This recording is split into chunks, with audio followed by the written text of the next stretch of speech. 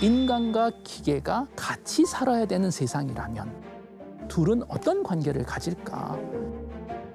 1950년도에 인공지능이라는 개념이 처음 도입됐었고 처음 한 30년 동안 사용했었던 방식을 지금은 룰 기반, 규칙 기반 인공지능이라고 이야기를 합니다. 인간이 기계에게 세상에 대한 법칙을 코딩을 해줬던 거예요. 뭐 고양이는 이렇다, 강아지는 이거다.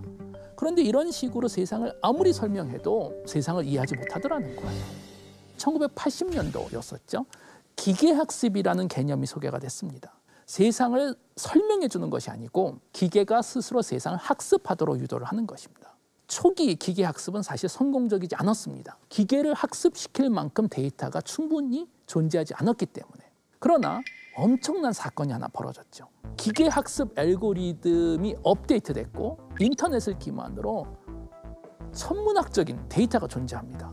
그리고 컴퓨터 기술들도 발달하다 보니 이 세 가지 트렌드가 합쳐져서 심층 학습, 딥러닝이라는 기술이 소개됐죠.